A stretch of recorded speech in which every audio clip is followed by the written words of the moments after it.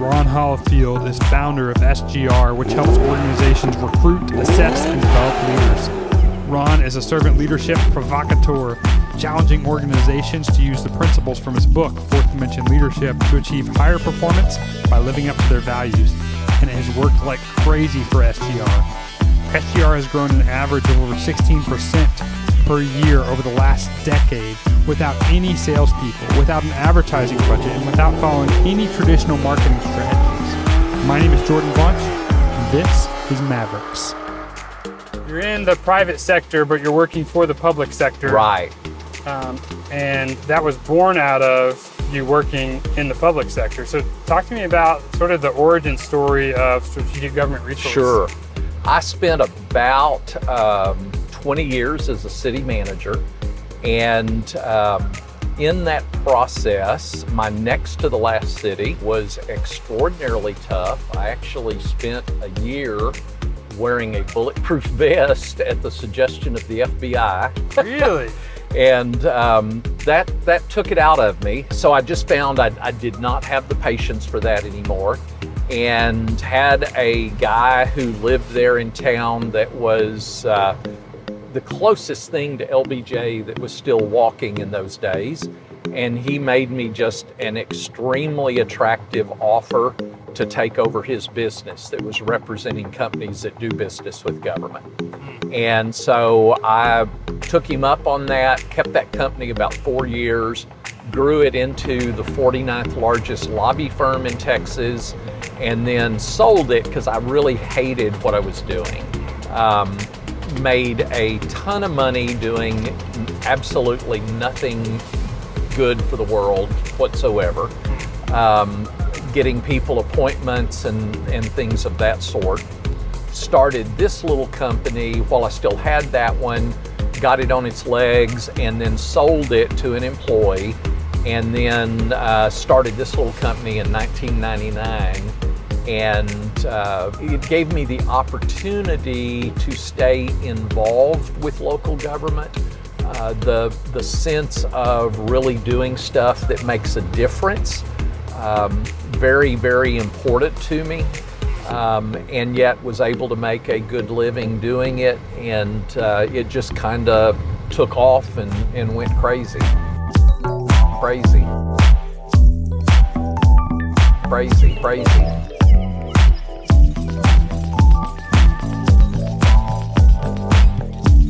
Crazy, crazy. Talk to me about what strategic government resource does. Um, our tagline is that we help local governments recruit, assess, and develop innovative, collaborative, authentic leaders. In other words, the number one responsibility of any leader is raising up the next generation of leaders. So, recruit, assess, and develop is how you do that. Innovative, collaborative, and authentic are the types of leaders that are going to be able to thrive in today's VUCA world. Uh, we define authentic as leaders that walk the talk of servant leadership principles because we really do believe that in today's world that are those are the characteristics of leaders that are going to make the greatest impact.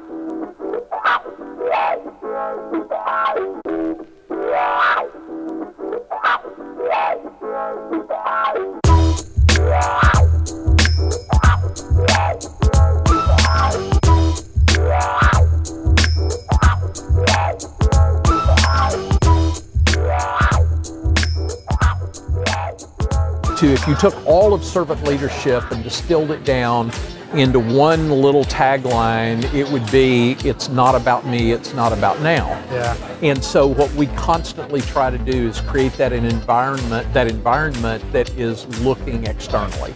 Um, that really does believe it's not about me and it's not about now or the short term. What's sort of going on in the culture of your company that's helping to foster this idea of servant leadership? A variety of things. Uh, one is that we actually provide every employee a week's paid leave to go give. We had a team of employees went down to the border a couple of years ago when there was the surge in unaccompanied minors, uh, helping out there. Uh, we've had a group, uh, had several employees go to Guatemala and help build an orphanage. Almost anything. The only rule is it can't be about you. What are you doing to stay grounded, to stay humble, to, to be able to foster the attitude of a servant leader because you can't fake that. Absolutely. If you do, people are going to see right through it. Pro- probably two things. The first quote from that great leadership guru, Barney Rubble. Barney Rubble said, It takes a smart man to know where he's stupid. So, the first characteristic of authentic servant leadership is having the genuine humility to know where you're stupid. Yeah. The second part is having the wisdom to act upon that. You know, in, in, and it takes both wisdom and courage to, and particularly in today's world in which there is so much phoniness and there is so much facade, yeah.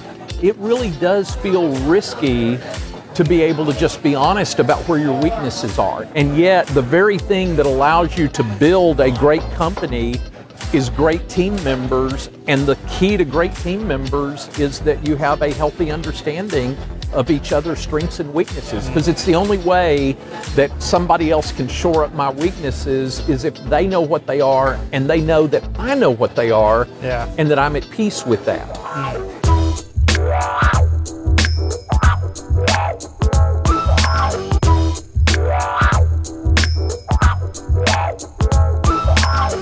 So you also focus on relationships. Absolutely. Has completely transformed the whole conversation when it comes to customer service issues. Absolutely. It doesn't matter what the issue is, protecting the relationship is our first priority. You can never avoid or prevent ever making a mistake. Yeah.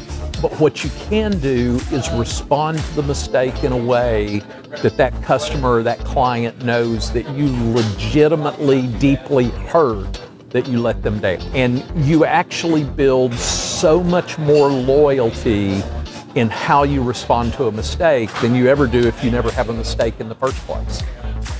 You, have got to be hungering to fail. And what I mean by that, I strongly believe if I've got the choice between having, uh, trying three things and succeeding in all three, or trying 10 things and succeeding in five of them and failing in five, I'll take the 10 effort, I'll, I'll take the five successes and the five failures yeah. because we still have accomplished more than if we hadn't otherwise. But yeah. you can't build that kind of an environment if you're looking for somebody to blame. One of my mentors has pounded into my head again and again and again that it is untrue what they say and that you learn from experience. What is really true is that you learn from your reflection on that experience. Absolutely. As long as something is the policy or the procedure, we've got to be incredibly rigorous in enforcing it yeah. while simultaneously being incredibly aggressive in questioning it. How do you grow from your your roots to where you are today affecting 50 million people? Um, we just really think that if you're delivering excellence, you're truly honoring the relationship, and then you're sort of omnipresent, the business growth will take care of itself, and it has proven that.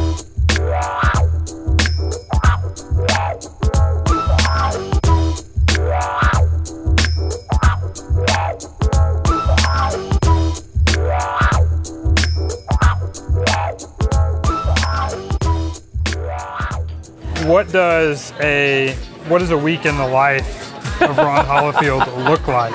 I spend most of my time networking and communicating with people. And then the other thing is I don't have a life. so I, I, mean it's the it's the danger of all entrepreneurs is that because you are passionate about it, yeah. you've got to be really cautious that it can be all consuming if you're not really, really careful. So I remember in the car on the way up here, you said something like you're 1,600 or 16,000 times uh, more apt to change than most of your team members. 1,888%. 1,800%. Okay. So you're, you're 20 times almost uh, more apt towards change absolutely than than your average employee and probably just the average person in yeah, general, which is absolutely is probably true of many entrepreneurs. Many of our listeners are going to be much more apt to change. Absolutely. So, what's what's next? Where I really see my next 10 years primarily focused, there is so much dysfunctionality going on politically. Uh, there is so much Sure. pain. We're a divisive country right now. Oh my gosh, yes, Yeah. and it's playing out in every city council.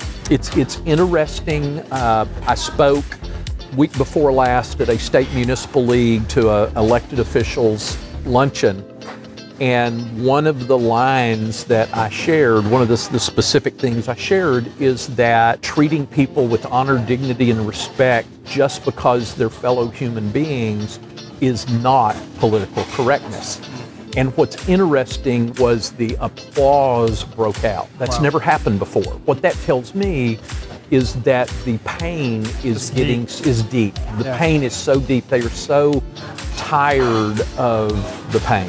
For me personally, I see me spending more and more time trying to work with elected officials to uh, to inspire them to be the person deep down inside they really want to be, instead of being seduced by the hatred and the you know the political operatives that tell you that the way to do it is to be nasty.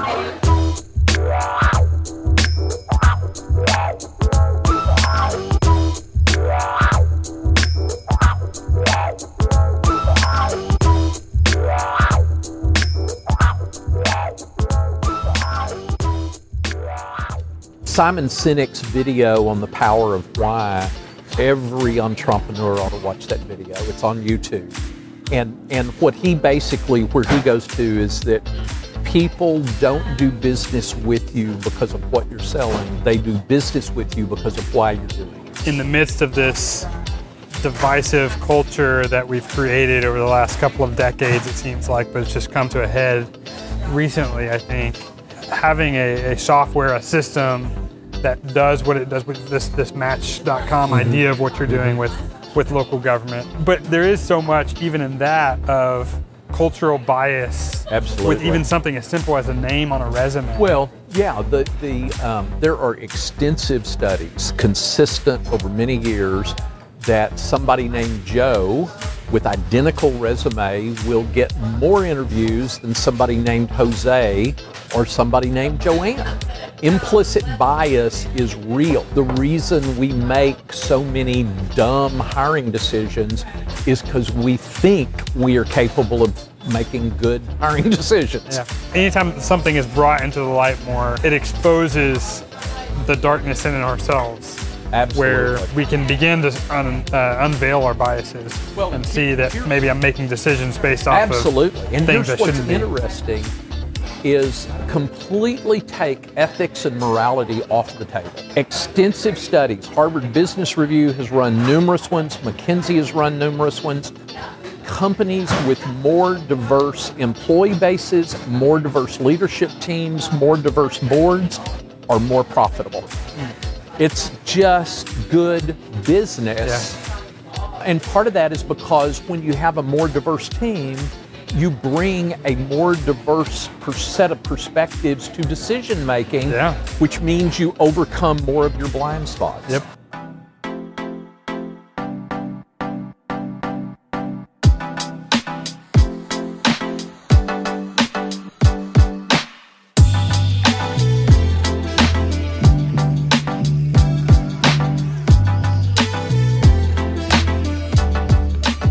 So when the economy crashed, at that up leading up to that, we'd never had any debt. We'd entirely bootstrapped and had never borrowed any money. Our business dropped 29% overnight, and we got through that. We, we did it by I borrowed over $200,000 in credit card debt plus took some money out of retirement, plus went to no paycheck for almost a year. The trick is you've got to have a really brutally objective self assessment Yeah. because that's where That's sure. some folks get into trouble is that they're believing in a in a puff of smoke instead of something tangible. So you've got to really have just a brutally objective view of yourself and your company and go, okay, here's what it's going to take. Yeah. And if you don't have that, it'll tank on you. Do you have people in your life who can speak that to you in a brutally honest way when necessary? Or how do you how do you do that to yourself or, or do others fill that gap for you? Well, I think part of it is just attitudinal.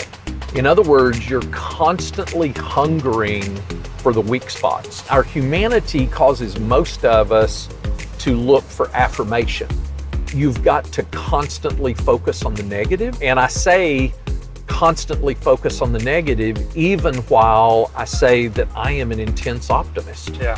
Um, but you can't be optimistic objectively if you don't know where your weak spots are. That's what I love and appreciate about uh, you know working with other small companies, other startups, is because they're so much more nimble than these huge companies. Right. It's really hard to turn a moving train, freight train. Absolutely. You know, but driving around in this uh, this little BMW, it's a lot easier to make that that sharp turn.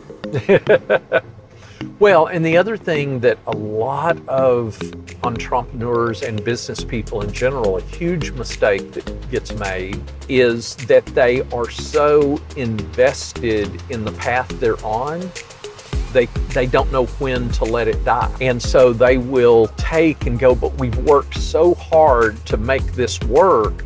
Let's just if we'll just try a little harder.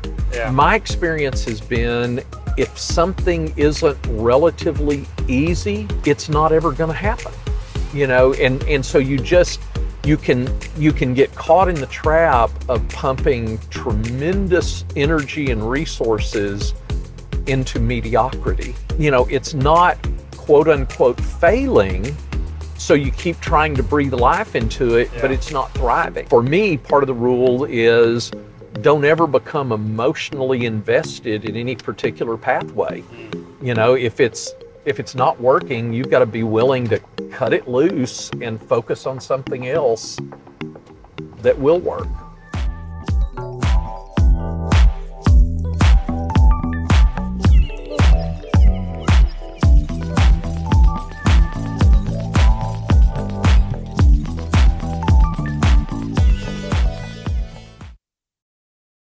crazy